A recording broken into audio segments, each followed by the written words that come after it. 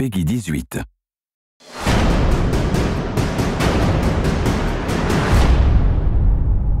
The Second World War goes beyond all boundaries in every category.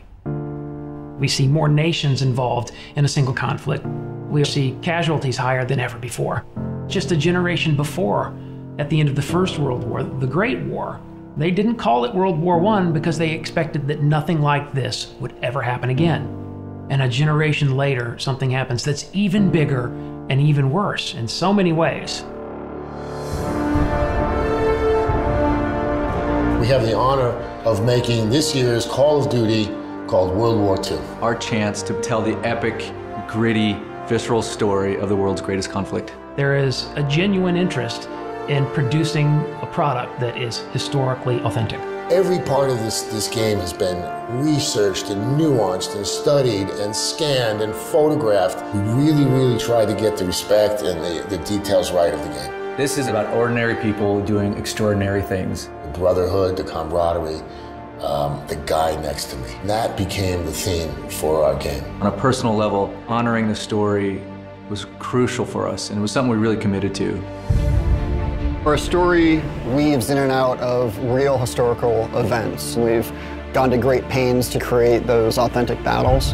One of the biggest things we wanted to get across was a sense of camaraderie. The people you serve side by side with, you develop bonds with those people. Hopefully players will walk away from this story feeling like they really know these guys. Welcome to the Bloody First. And they care about them. Art influences the game in a huge way. The lighting and the tonality and the colors. We want to be able to have the player feel something. By creating a very believable environment, it allows the player to slip into this world. The vision for the art direction we call dark and beautiful. It was emotionally dark, visually beautiful. More than just being cool and pretty, it's about trying to get people to have a deeper emotional reaction to the game. Our modeling department is amazing. The weapons, vehicles, the tanks, even the cars you might see on a city street. The level of detail is just phenomenal. It's a huge endeavor, but we have to stay true to the source material. We have to research and watch a lot of film, a lot of archive footage to see how combatants in World War II would behave. Sometimes the hardest things are the biggest payoffs. The combination of the model, the animation, and the audio creates that punchiness to the weapon. We record everything. Every location we record in for the game. The ambiances, the music, the dialogue, everything has to be created from scratch. We had a real opportunity here to do a level of authenticity and reality true to the war, true to the soldiers who fought in that war. We had this great opportunity with Marty Morgan, our military advisor. We spent a lot of time on a gun range with all of the authentic World War II weaponry. It's critical to understand the absolute violence of the Second World War.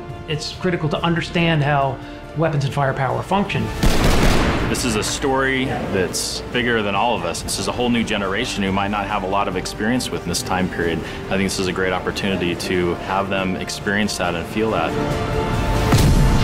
We've made something pretty incredible and I'm very proud of it. It's perhaps the greatest compliment I've been paid in my career to work on this project. This is the most powerful game I've ever worked on.